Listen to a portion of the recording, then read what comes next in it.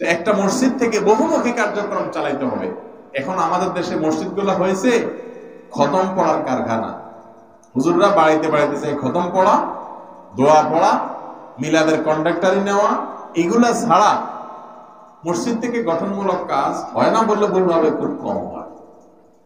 বেশিরভাগ মসজিদে ইমাম মহাজেন সাহেবদেরকে আপনারা দোয়ার কন্ট্রাক্টারিতে ব্যবহার করেন। দোয়ার কন্ট্রাক্টারি বুঝেননি। হুজুর দোয়া করে দেন, এটা হয়েছে দোয়া করে দেন, ওইটা হয়েছে দোয়া করে দেন, ওইটা হয়েছে দোয়া করে দেন। মানে দোয়ার ডিপো হুজুর। উনি শুধু দোয়া বিলাইবেন। না ভাই, আলেমদের কাজ দোয়া বিলানো না। আলেমদের কাজ কি বিলানো? কোরআন হাদিসের এলেম বিলানো, আলো বিলানো। আল্লাহর সাথে কীভাবে যোগাযোগ করে নিতে হয়, এই সিস্টেম শিখাবেন কারা? ওলামা একরা তারা আপনাদের দোয়ার কন্ট্রাক্টারে নিবেন না। হ্যাঁ তাদের কাছে আপনারা দোয়া চাইবেন। তাদেরকে হাদিয়া তোফা দিবেন। আলাদা, সেটা ভিন্ন বিষয়। কিন্তু তাদেরকে শুধুমাত্র দোয়ার জন্য ডাকবেন, এটা ঠিক না। এলাকার ইমাম সাহেবরা এখানে অনেকে আছেন। কয়জন ইমাম সাহেব এমন আছেন যে আপনাদের কাছে মুসল্লিরা আসি বলে যে, হুজুর, আমি একটা ব্যবসা করতে চাই এখানে কোন পথে গেলে হালাল হবে, কোনটা গেলে হারাম হবে, কীভাবে করলে আল্লাহ খুশি হবে, কীভাবে করলে আল্লাহ বেজার হবে, আপনি একটু আমাদের বলে দেন। এগুলোর জন্য হুজুরদের কাছে আসে আজকাল? কি জন্য আসে? আসে দোয়া আল্লাহ হুজুর দোয়া করে দিবেন। উনি দোকানে দুই নম্বরই করবে। মানুষকে ফাঁকি ঝুঁকি দিবে, মাপে কম দিবে ঠক দিবে, দুই নম্বর মাল বেচবে, আল্লাহরে নাকশ করে সব কাজ করবে, কিন্তু দোয়া করে দিবে কে? হুজুরে। আল্লাহর হুকুম যদি আপনি না মানেন, তা আল্লাহ কি হুজুরের দোয়া শুনবে? বুঝেন না আমার কথা। আপনি যদি আল্লাহর হুকুম না মানেন, হুজুর দোয়া করবে কার কাছে? আল্লাহর কাছে। হুজুর দোয়া করে বলবে, আল্লাহ, এই দোকানদারের দোকানের ব্যবসায় আপনি বরকত দিয়ে এ দোয়াটা হুজুর কার কাছে করবে? আর আল্লাহ দেখতেছে আপনি দুই নম্বরই করতেছেন। তাহলে হুজুরের সুপারিশ কি আল্লাহ শুনবে? দুনিয়ার সব হুজুর আনে যদি বাটি খাওয়াইও দেন তো আল্লাহ তালা বরকত দিবে না। আপনি দুই নম্বরই ছাড়তে হবে। হুজুরের দোয়া লাগবে না। আল্লাহ এমনি আপনার মধ্যে রহম করবে ইনশাআল্লাহ। কথাকে বুঝাতে পারছি? ইমাম ছিলাম, খতিব ছিলাম। একটা দোকান উদ্বোধন হবে, আমাকে একবার বলল, হুজুর আসর পরে আপনি আসে একটু দোয়া করে দেন। তাই আমি বললাম যে, কিসের দোকান ভাই? বলে যে, তখন তো এই মোবাইল টোবাইল স্মার্টফোন এরকম ছিল না, অনেক আগের কথা, দুই হাজার দুই সাল, তিন সালের এরকম সময়ের কথা। তো আমাকে বলল যে, ভাই, আমি এটা একটা সিডির দোকান দিব, সিডি সিডি। সিডি চিনেননি সিডির দোকান দিব, সিডি।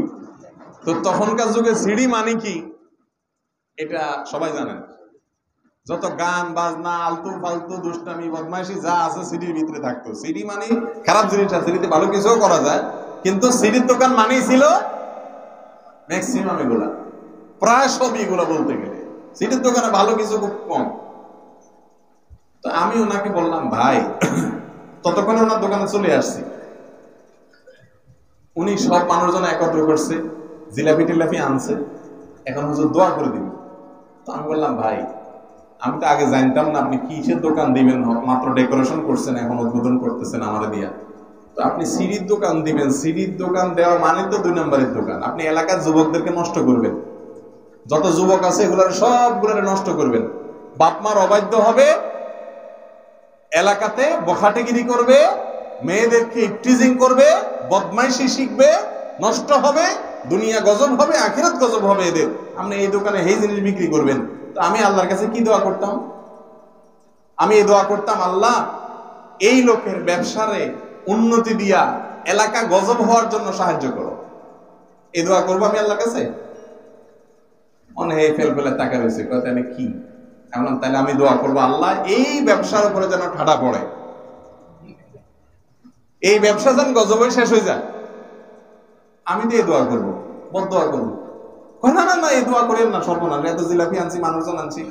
আপনার পয়সাটা তো দিব, এই দোয়া করবেন কিনলে আপনি? আমি বললাম যে, তাহলে আপনি কাজ করবেন আল্লাহরে নারাজ করার কাজ। আর আমি বলে দিব আল্লাহ, এই ব্যবসাতে বরকত দিয়েন। আল্লাহরে কি বোকা পাইছেন নাকি আপনার নিজের মতো? আপনি নিজে বেকুব হইতে পারেন। আল্লাহ তো আহকামুল হাকিমি আল্লাহকে কি মনে করেছেন আপনি? যে আল্লাহ রব্বুল আলমিনের নাফরমানি করবেন আর আমার মতো মৌলবী ভাড়া করে আনবেন, আমার যদি দোয়া করলে আল্লাহ ব্যবসা বরকত দিবে। আপনার দুই পয়সা কামাই হতে পারে, কিন্তু আপনার সংসারে আগুন লাগবে, আপনার সম্পদে আগুন লাগবে, আপনার বংশধরের মধ্যে আগুন লাগবে ওয়ারিসদের মধ্যে আগুন লাগবে, দুনিয়া গজব হবে, আখেরাত গজব হবে, ভিতরে ভিতরে সব ধ্বংস হয়ে যাবে, কারণ আপনি আল্লাহর নাফরমানের পথে আছেন। কথা কি বুঝাতে পারছি? আজকাল অনেক মানুষ আছে যে এই মসজিদ থেকে হুজুরদেরকে শুধুমাত্র দোয়া করানোর জন্য ব্যবহার করে, আর হুজুররাও আমরা, মাশাআল্লাহ। টাকা পয়সা দিয়ে দিলে হাতের ভিতরে মুসুরি। বাস, আমরা সিনেমাল্লা দোয়া করতে আমাদের বুকে কাঁপে না। বুঝেন নাই কথা? যত রকমের দুই নম্বরই আছে, সবকিছু এখন হুজুরদের দিয়ে করানো যায়। হালাল হারাম বাজ বিচার নাই। এই জন্য আলেমদের মধ্যে আত্মসম্মান বোধ থাকতে হবে। আর আপনাদের মধ্যেও নিজের বিবেক বুদ্ধিকে খরচ করানোর অভ্যাস এবং এই চেতনা, এটা আপনাদের মধ্যে, আমাদের মধ্যেও থাকতে হবে। যে না, হুজুরদের দিয়ে দোয়া করানোটা পরে, আগে আমি নিজে সোজা পথে আসি। আল্লাহর সঠিক পথে চলবেন, আপনার দোয়াই আল্লাহ কবুল করবে ইনশাল্লাহ হুজুর লাগবে না। আমি কি বুঝাতে পারছি? আল্লাহ তালা আমাদেরকে হক হালালে চলার তৌফিক দান করুন।